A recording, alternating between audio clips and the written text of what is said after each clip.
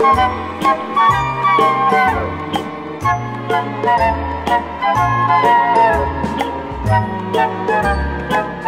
you.